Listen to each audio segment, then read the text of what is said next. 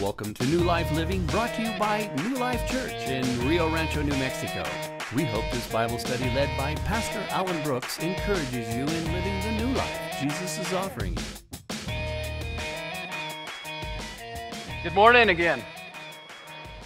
If you happen to be visiting today, I just want to tell you up front that we're kind of in a transition zone as a church. We've just finished a series called Beyond Death's Door, and uh, today we're going to talk about something that we as the church need to have a conversation about every so often. Now, quite frankly, as I told the 9 o'clock service, it's a very one sided conversation. I'm going to do all the talking, you're going to do all the listening, okay? But the reality is that we need to think about these things more often. And today we're going to think about them together. What is it that we are called as the church to be? Because too often times when we even think about inviting somebody to church, we often think we're inviting them to a building. But it's really not to be a part of the building, is it, that we would like them to come to church? We want them to be a part of the family, a part of the community. And even more importantly, those who are part of the family recognize, as the video said, that this is simply a home to a greater calling that God has for us beyond these doors. And so that's the focus of where we're going today. Part of this in my mind got started because uh, recently I've seen a neighbor of mine who's a young professional. He's an engineer, very busy in his job. Uh, got two small children, but each time that I've taken stuff to the recycling center, I've seen him there volunteering his time and, and helping, you know, at the recycle center. I've had some more conversation with him about it, and he tells me that in addition to that, he actually helps at a food pantry, I think, a couple of times a month as well. And it got me thinking, what is it that motivates people to give of themselves to a charity, to a cause like that? Now, it's different for different people. Sometimes people volunteer their time uh, to gain an advantage. You know, high schoolers oftentimes that's what they'll do in their final year of high school is they're trying to load up their college resume, right? And show all the places that they served and volunteered their time to look good to their college. Some of us, raise your hands if you've done it for community service, uh, because uh, no, you don't have, you don't, you don't need to acknowledge that. But some of us have had volunteer work forced upon us. Uh, some of you think when we ask you to serve in our kids' ministry or in some of the programs up at the church, we're forcing you to do it as well. But there's also this other group of people, which we hope are within the body and within the walls of the church, who do it because they believe in the cause. They're really genuinely trying to help people and do something that would either help people or help the environment. I had made a call uh, last fall because we thought we had a grand idea, and the idea was that we wanted to try to bless some families outside of the walls of our church by making dinner for them here at our church for Thanksgiving. Some of you maybe even remember us talking about that. And I made a call to a, a, a food pantry locally because we thought maybe they might have the names of some families that we might be able to reach out to. And when I told the person that what we wanted to do is we wanted to uh, bless some families, they were instantly enthusiastic, like, wow, that's awesome. I know so many people that need that help. And I said, well, here's what we're planning to do. We're, we're going to send an invitation out to them or call them, however we do it, and then we're going to bring them to the church and we're going to, you know, make dinner for them and just, just love on them. Like, wait, wait, wait you're, you're going to make them come to your church? And I said, uh, Well, yeah, yeah, yeah. You know, we, we just want to love on them and make dinner for them at our church. Oh, well, we don't mix charity with church. Now, I have to tell you, I was struck by that. I've, I've heard there was a separation between church and state, but I, I wasn't that familiar at that time that there was a difference and a separation that needed to be maintained between charity and church. But as I've reflected over that over the last few months, I've come to realize that that person knows something about her world and how it's different from our world. Because there is a difference between ministry and charity. And it's very, very important for us to recognize that we in the church are not called necessarily to charity as much as we are called to ministry. I'm indebted to a Warren Wiersbe in a book I would highly recommend to read if you haven't already called On Being a Servant. And he defines ministry in his book as this Ministry is when divine resources meet human needs through loving channels to the glory of God. Now, there's some similarities there. I would say a lot of the people who help at a charity are doing it because they love and care about people. I think that's real for people outside of the church. I think you also see that what they want to try to do is to meet or help meet a human need, similar to what ministries are seeking to do as well. But don't miss the difference. What a ministry does, fundamentally, is we seek to bring divine resources to these human problems. Can I tell you one of the reasons that's really important? Last week, I finished my 18th year of so called full time ministry. In 1996, I actually, praise the Lord, thank you. But in 1996, the Lord called me to go full time into ministry for a large church in the area. And then about six and a half years ago, we started this church. But as I look back on this, I can tell you that when I first started into ministry, it was overwhelming. Now, part of the reason for me it was overwhelming is I'm, I'm the kind of guy who, you know, I, I, cry when I watch Lassie. Now, you can say, oh, well, that's so sweet, and he's in touch with his feminine side and that sort of thing. Okay? There's some oohs and ahs. But the genuine truth is, I care. I mean, I can see a person's situation, have an appreciation of that without even being in the situation myself. I'm what they would call highly empathetic. And that empathy causes trouble for me because when I first went into ministry, I got to tell you, I was overwhelmed. I was like, oh my gosh, the, the needs are so much bigger than I can help with. That's true for all of us. A fundamental truth that you need to recognize is man's needs far outweigh man's resources to meet those needs. And we have to, have to, have to have divine resources if we're ever going to hope to be successful in meeting those human needs. But there's another fundamental difference between ministry and charity. And hopefully you caught it in the definition. And what is it? It's the motive for why we do it, exactly. We're doing it for the glory of God. We're not doing it to gain an advantage. We're not doing it because the pastor forced us to and he demanded we volunteer our time. It was none of those kinds of things. It was because we wanted to do it for the glory of God. And that's what we're going to talk about today. If you haven't done so already, I'd ask you to turn to uh, Philippians. We're actually in the second chapter there today.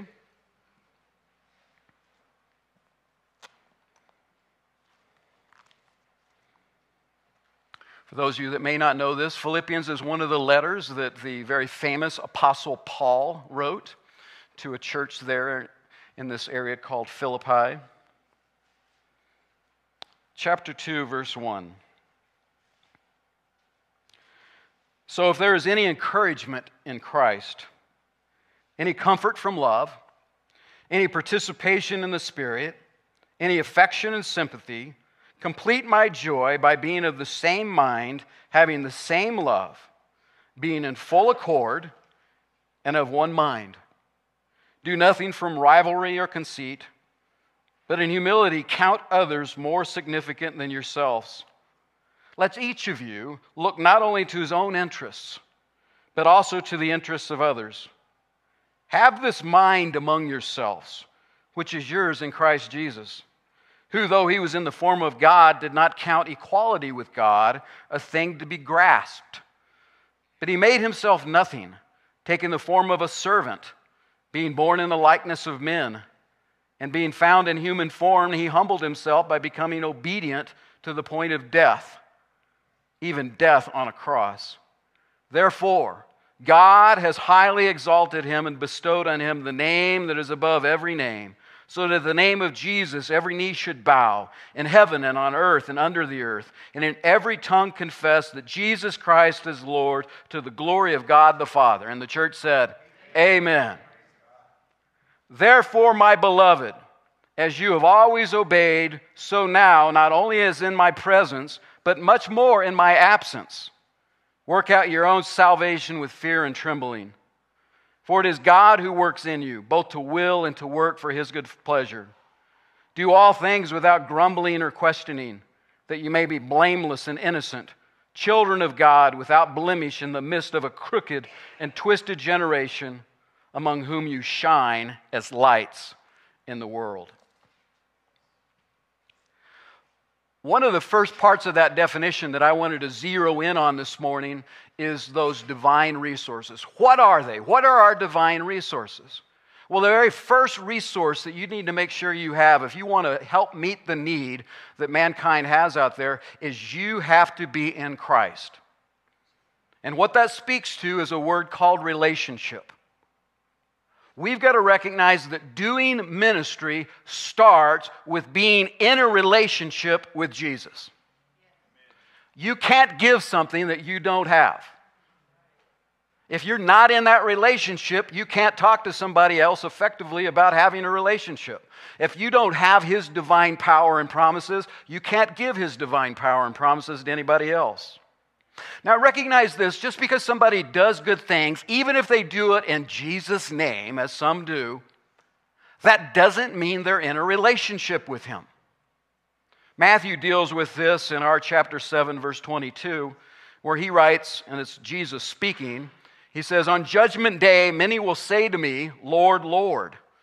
We prophesied in your name. We cast out demons in your name and performed many miracles in your name. But listen to what Jesus will say I never knew you. In other words, these people who have done good things, even in the Lord's name, will stand before Jesus on Judgment Day and he says, I don't know you. We had no relationship. So, ironically, they were doing good things, maybe even for good reasons. But it starts with us being in the relationship. Don't miss that. I find a lot of people in the church get hung up on the things they're doing for God. God isn't the most concerned about the things you're doing for Him, He's most concerned about your relationship with Him. And it starts with being in that relationship. If you are in that relationship, Paul in verse 1 talks the participation in the Spirit.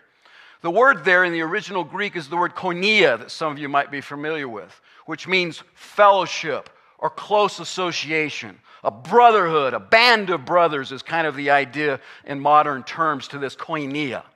But he's talking about this participation, this fellowship in the Spirit. Now, catch this if the Holy Spirit's not in you, then you're not in Christ. Some people have that confused, but Scripture's clear about it.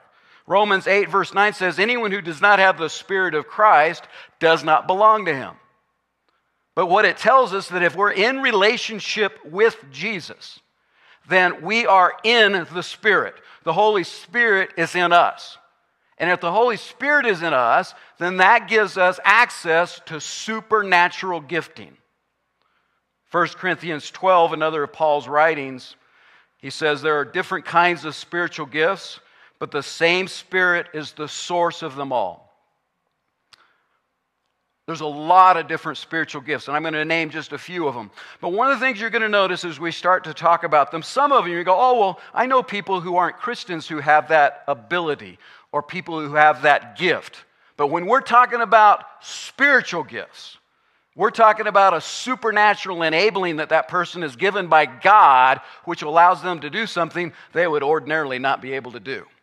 For example, if I were to sing beautifully right now, you would know that that was a supernatural gift of the Holy Spirit, okay? And as much as I prayed and asked for that particular gift, it just hadn't happened, okay? And that's the other thing that you're going to find is that some people in the body have some spiritual gifts, while others in the body have other ones. Doesn't necessarily mean some are better than others because it's God who decides who gets, the, gets those gifts. He's the source of them all. But God, through the Holy Spirit, gives us supernatural gifts of administration, of giving, of service, of leadership, of mercy. Can you imagine that those would be helpful as we did ministry, having those kind of gifts? Absolutely. There's also other sign gifts. There's gifts of prophecy, the gift of tongues, the, di- the gift of discernment of tongues. There's also gifts where we have supernatural wisdom, supernatural ability to discern how things are going. These are all things that if you're in Christ, that you're enabled to do because of the Holy Spirit.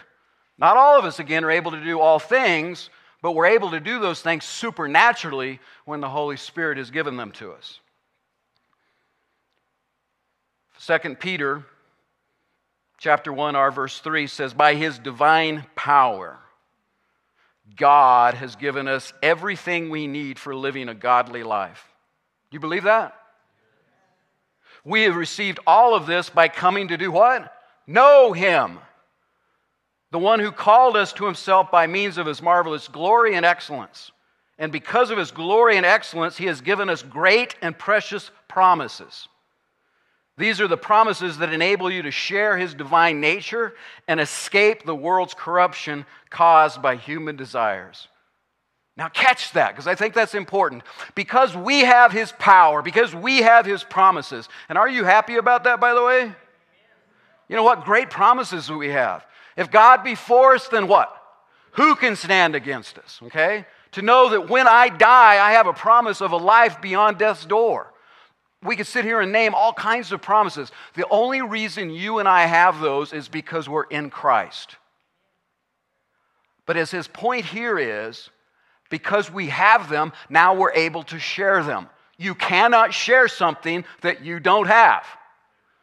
You cannot give a divine resource of God's promises and of His power if you don't have it. They could get it and you might not have it. But the point of the matter is, you have to be in Christ and in that relationship to take advantage of it. And for those of us who are not in Christ, catch this, we're not doing ministry, we're doing charity because we're not doing it for the same or the right reason. And unfortunately, I think what happens a lot of times is we're seeking to solve these massive human problems out there, and we're trying to do it with human resources, which ain't going to get the job done. We're going to fall short every time. We're going to win some of the skirmishes and maybe one of the battles. But guess what? We're going to lose the war because the human needs are much more massive than what human resources can fix. We need the divine power. We need God's promises. We need the Holy Spirit working through us and in us if we're to expect any of this to happen. Amen?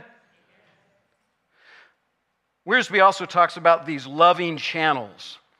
And a question I would ask you to ask yourself is how am I called to be his loving channel?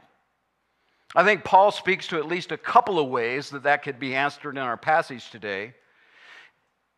One of the verses here, he says, being of the same mind, having the same love, being in a full accord. Now, that's not a Honda, by the way, but being of one mind. Now, if you were to simplify those phrases down into one single word, most of you would come up with the word unity. I don't know if you think about this very often, but the church is the ultimate team activity. We're called to be in unity. We're called the body of Christ. We're not multiple bodies, we're a body. There are different parts of the body in different places, but there's one body of Christ who's one big team. In business, we used to have an acronym for team that was T E A M, together one, together, everyone, what? Does anybody know it? Achieves more. Now, if that's true out in the business world, could that also maybe be true in the church, do you think? Do you think we're going to be more effective as lone rangers just going out and doing our own thing? Or what if we pooled our resources, our manpower, the amount of money that we can help provide to an organization? I find that for many people, Christianity is like putting a puzzle together when you don't have all the pieces. You ever tried to do that before? Super frustrating, isn't it? You know, to find out the person before you lost some of them, and especially if there were corners, right? But that's why a lot of people are failing. A lot of churches, quite frankly, are failing because what they're trying to do is they're trying to do it all independently rather than to do it corporately. Paul also gives another thing that I think is an important part of being a loving channel, where he says to not be selfish, not try to impress others, to be humble, to think of others as better than yourself. And I'm sure this is true for you as it is for me, but that just comes naturally, doesn't it? And even that I would say that would show that it doesn't come naturally. Those are not things that we naturally do. Do you know what the number one enemy of unity is? whether it's in your home, whether it's in the workplace, or whether it's in the church. The number one enemy of unity pride. And part of what Paul's saying here is we need not only unity, but we need humility. I played football in high school and uh, played on you know, a lot of different teams, some that were more successful than others. But one of the things that I found out in team sports, it's not the teams with the most talented athletes that are the most successful. It's the teams that learn how to be humble and unify around each other together.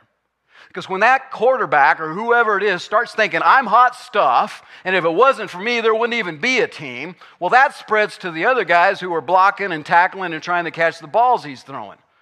And they're not going to give it their effort because he thinks he's so wonderful. And it cuts both ways, doesn't it? The truth is, in order to do God's work successfully, we have to have to have humility. In verse 14, Paul writes, Do all things without grumbling or complaining. If you don't know this already, make a note about this. Grumbling and complaining is a sign of pride. And it's working that pride against unity. You're trying to say that you know more, you can do more, whatever it is, and that's part of the reason that you're complaining about it. It's beneath you. I don't know if you've ever thought about this relative to Jesus, but I think Paul gives a great illustration in this passage where he talks about what Jesus was willing to do. What if it had not gone down that way? What if God the Father came to Jesus and said, Hey, I got this great idea. You know, sin's a real problem, it's killing all of our people. How about this? How about I send you in a human body to grow up on the earth and then you die on a cross and get separated from me in death? What if Jesus' response would have been, I don't think so, that's not my job. Hey, I'm God here too, you know, right? Isn't it fortunate that that's not the way Jesus responded? That Jesus says, Father, I'm the man.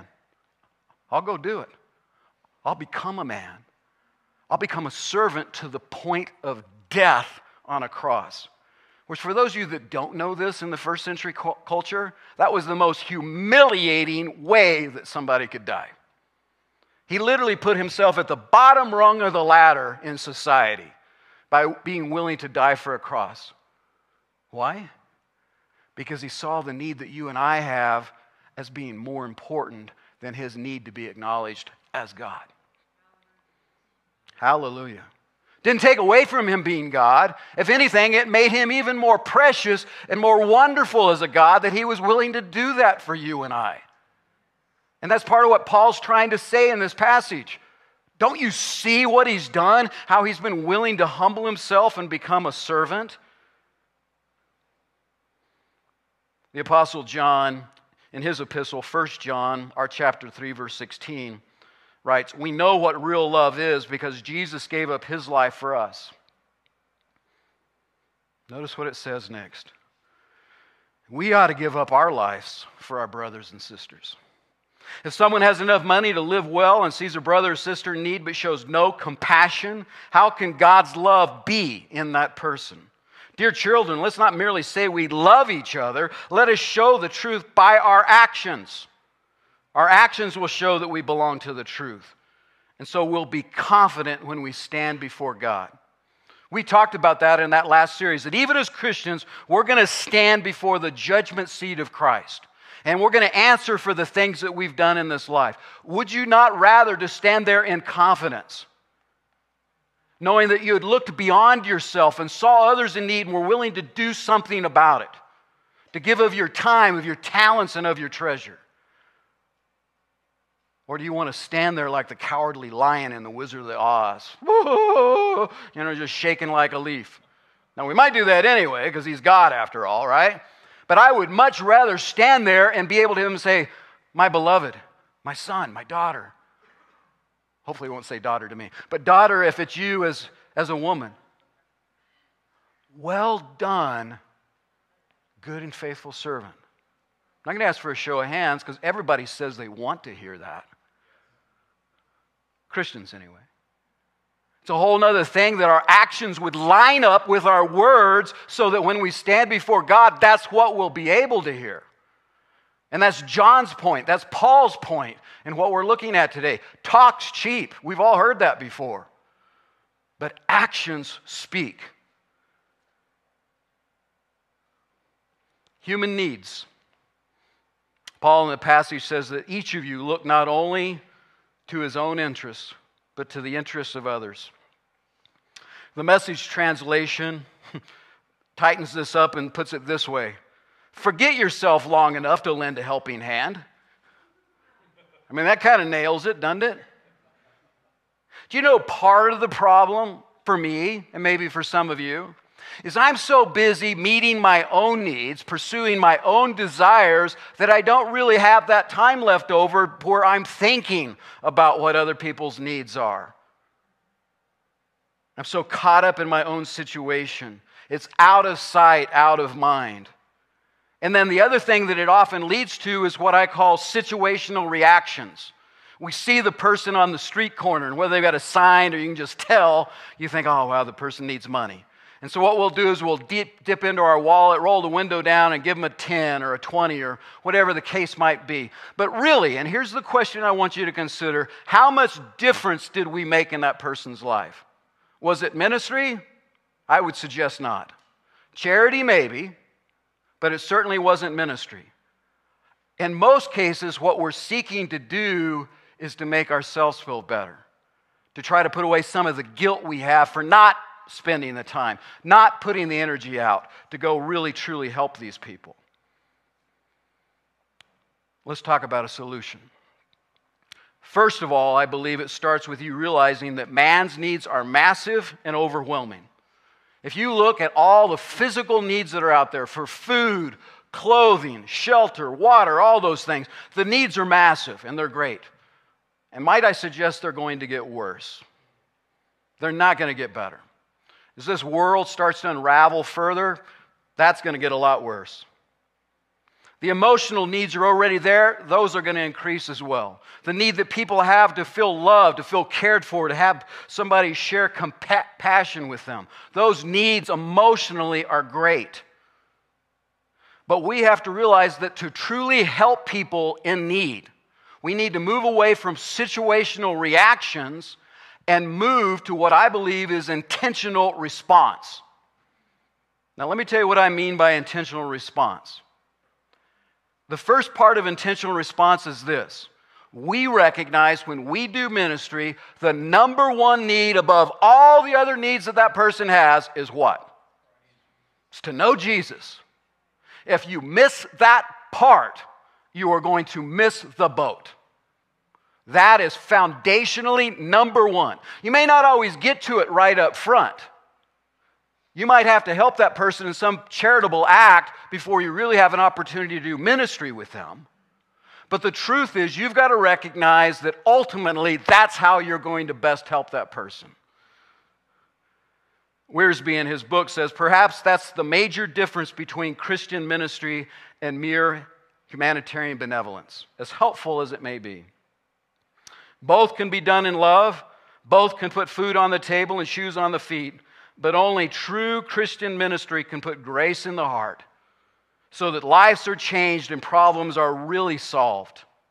The best thing we can do for people is not to solve their problems for them, but so relate them to God's grace that they will be enabled to solve their problems and not repeat them.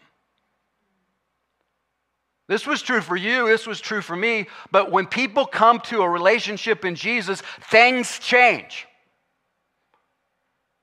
The way we think changes, the way we act hopefully ultimately changes, and it leads us to an understanding that I now have divine resources. Those divine resources we were talking about earlier, those aren't just for us. God wants everybody to have them. He wants us, as amazing as this sounds, He wants us to share those resources with them. And when we give them access to the things of God, we now have divine resources to work on our problems with. Now, just like it is with us, God doesn't always solve our problem, does He? As much as we pray about it, as much as we try to work towards it, but one thing God always does He walks with us through it. He's there. And it changes our perspective. We know, hey, if God be for me, who can be against me? Somehow this is going to work out. Because God says that all things work together for good to those who love God and are called according to his purpose. And if I have that divine resource of relationship, I can claim that promise. If I don't have that relationship, I cannot claim that promise. Can't, can't tell you how many different times I've heard Christians quoting to non Christians Romans 8 28.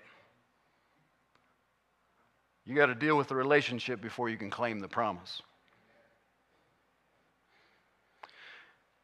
So, the divine plan. Here for New Life Church, I can tell you that even since we've started this church six and a half years ago, I would say almost on a consistent weekly basis or every other week basis, I have charities or ministries that approach me about us getting behind what they're doing. And you know what? Most of them are good. Some are great. Some are amazing what they're doing. But unfortunately, what happens is it becomes kind of like the elephant in the room. I mean, everybody can see the elephant, but we're somewhat overwhelmed by it because the elephant is so big. Y'all heard the cliche how to eat an elephant? One bite at a time. Well, recognize this we as the church can't do everything. If we tried, we would be totally unsuccessful at it. But though even we can't do everything, we can do something. And I believe that God is calling every one of us who are in Christ to do something. And He's calling us as the body of Christ to do it together because we'll be more effective together. Could you and I take a sack of groceries and go to the storehouse and say, hey, here's some groceries? Absolutely, we could. But when we do it together and we take a truckload rather than a grocery bag, do you think maybe that kind of makes a statement of some kind? People start to go, wow, what's happening? Where'd this come from? When we send a check, as we did last month, to, of nearly $1,800 to that food pantry, do you think that that caused them to go, wow, I wonder who these guys are? Now, if you and I individually sent them a $50 check or $100, I'm sure they would appreciate it, but it's not quite the same when it's all pooled together. And here's part of the point, guys. When we look at charities outside of ministries as we work within the community, we recognize that if we invest correctly in a charity, it's going to cause them to look at what we're doing and it may lead to ministry. Are you with me? Because inevitably, you know what these people go, well, wow, why'd you do that? Well, let me tell you. Let me tell you why we gave that. Because Jesus loves me, and we know He loves you and the people that you're serving. And He wanted us to bless you so that you could be a blessing to others. You think that plants a seed? Maybe it waters one. And someday, whether it's that day or another day, it's going to bring an increase. And so, we as a church, since we started, we've consistently given back out to the community. Now, we started where I believe most of us should start in our giving by tithing. What we collect as a church as a whole, we took 10% and we went right back out into the community with it. We bumped that recently to 15. I've been trying to encourage our board to even go up to 20. Because I believe that if we invest out there with divine resources, God's just going to give us more to share. You know, the reason we don't have resources sometimes is because we hoard them to ourselves. And God's like, well, if you're going to keep them for you, then why should I give you more of them? But it's when we're willing to share and we give it away that God says, Hey, I got some more stuff for you. And then He gives us more that we can share with. And it's a spiritual principle that we should all be living by. It's a principle by which this church lives by. That's why we've never missed a month. When we were saving for this building, all the other things that we've done in the history of this church, we've always been faithful to give God His first fruits and send Him right back out the door. Because we knew that God would bless us if we did that. We've wanted to really do a lot more focus outside of our doors for some time. We recognize the church still goes on. We still have to pay for this building. We still have light bills and other things. We have ministries that need help here. You know, children's ministry, our uh, cleaning crew, all those ministries would still love to have you. But what we want you to do is start thinking beyond just in here and what's going on out there. When I called that food pantry at Thanksgiving, one of the things the woman said is she said, Aren't there some people in your church you could help? And part of what I told her is we're trying to break that image of the church. The image of the church in so many people's minds is a group of people that just simply take care of their own rather than going outside of their doors and doing something. That hasn't always been true. In fact, the reputation of the church used to always be that it did so much for the community. I would love this community of Rio Rancho Albuquerque to miss us if something ever happened. Wow, I sure miss that New Life Church. Whatever happened to those guys? Man, they were so faithful and blessing us with their time and their talents and their treasure.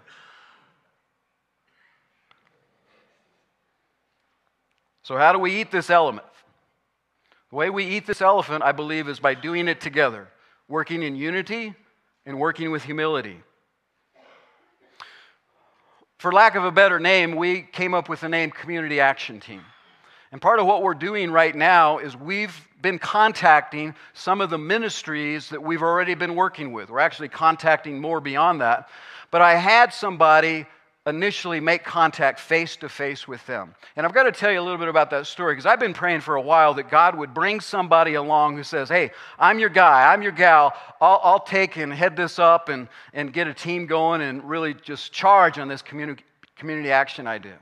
I can tell you, I had somebody in mind. I talked with somebody about it, and God, on a particular day, was speaking to me as I was driving. It was 6:15 in the morning. It was as held, heading to our weekly elders meeting on Wednesday morning, and I, I heard this name for the first time. I thought, well, I hadn't thought about that.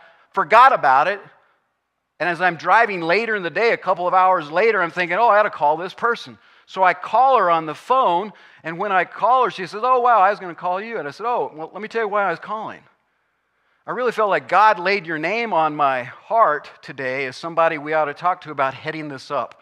Here's the cool God part of that story. You started crying, as I remember. But Sam Apodaca, as I was talking to her, she said, I was on my knees before God this morning praying that God would reveal to me what my place in the church is supposed to be.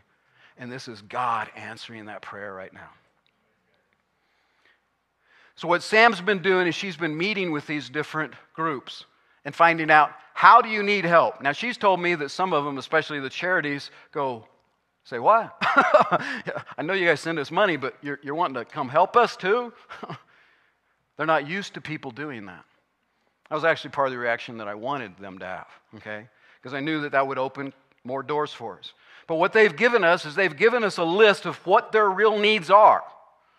And so part of what we've done is we've set a project goal for the next two months. And that first project goal is that we want to donate 500 manpower hours in the months of May and April. There's two groups we're going to do that with right now. One is Storehouse West, and the other is CareNet, who works with uh, couples that have gotten pregnant and aren't married and trying to deal with whether they're going to continue with that pregnancy or not. But there are great needs within both of those organizations for manpower hours.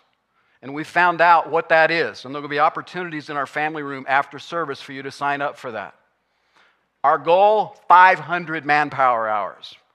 Another part of that goal is we want to donate 1,000 pounds of food and clothing to that organization together with Storehouse West. Do You think that'll make an impact when that arrives? I think it will. Now, some of you are thinking, wow, that's huge. I mean, is, you to do this with some other churches or something? No, we're going to do it right here. But let me break that down for you for a second. 500 manpower hours isn't a lot. If each one of the partners in our church just simply said, I'll give two to three hours of my time in the next two months, we would have 500 hours just like that. And we could help these organizations where they truly need help. If each one of our partners just simply said, hey, I can donate six or seven pounds worth of clothing or food, I mean, is that a doable goal? I mean, for most of us, six, seven pounds, I mean, that's, that's a five pound bag of sugar and a couple of green beans or something, right? Now, by the way, we do have these on this board over here, which is going to be moved into the family room, but we have selected items that we're going to ask you to bring because we know what they need. And that can of black eyed peas you've had for the last 10 years, they probably don't need that, okay? We don't want you unloading all the stuff nobody in your family wants to eat, okay? Unless you find something on that list, okay? But here's the point we want, and by the way, 9, 9 o'clock, correct me if I'm wrong, they pretty much cleared that board, right? And so we reloaded that board. See, they think they're better than the 11 o'clock service. I don't know if I shared that before. But I'll have to report back to them about how many we had left, so we make sure we find that out. But seriously, we do want you, after the service is over, to go into the family room. Sam will be in there with a couple of other people. You can grab one of those to take. If you want to double it up, you can do that. But here's the plan with the food and the clothing. We want to collect that in the next two weeks. And on Palm Sunday, which is two Sundays from today, we're going to have all that stuff collected. And the first part of that next week, Sam and a team are going to go deliver that to the storehouse and to CareNet and bless them with it. Uh, the manpower hours, some will start in the month of April, some will actually start in the month of May. One of the big things for the storehouse is they have a big annual food drive that they do with the post office. And once all that food comes in, you know, the post office just opens up the door like the mail and they just throw it out on the ground, basically. No, not, I'm just kidding. But I had to do that because we have a retired postman in the, in the room. But, but the reality is they need help sorting and stacking and putting all that food away. And that'll happen in May. And so, is this something we can do as a church, do you think? I think it is. I think it's doable. And this is just the beginning. We're hoping by this fall we'll have a whole series of these kind of things set up. We're literally on a monthly basis. Uh, we're going to go with an idea that I've had others share with me called Second Saturday, where we'll have a particular project and different groups or different people can come help on that day, and we'll just go do something out in the community. And I believe if we do it for the right reason and in the right ways, we're hoping to do this together, that we will be able to meet the motive. Because the motive's still the same, is it not, in doing this? It's for the glory of God. If you want to do it for the glory of God, I just encourage you to get on board with us. If you're not, that's okay. Nobody's going to even know. But if you want to do this together with the rest of the church team at New Life, I think we can magnify who God is in our community, and people will go, wow, I want to know who Jesus is. Some of those who don't yet know him. Amen? Would you stand so we could close in prayer?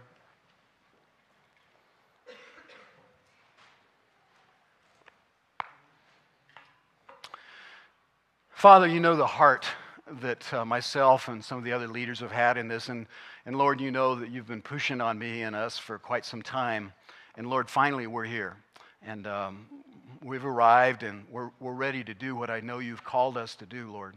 And we want to do it for the right reason, Father. I, I want to do it. I'm hoping my brothers and sisters want to do it because we appreciate what you've done for us. We want to do it for your glory. And Father, may it have great impact in our community as, as these initial couple that we work with, these couple of charities and ministries are blessed by it. May that spread to so many others.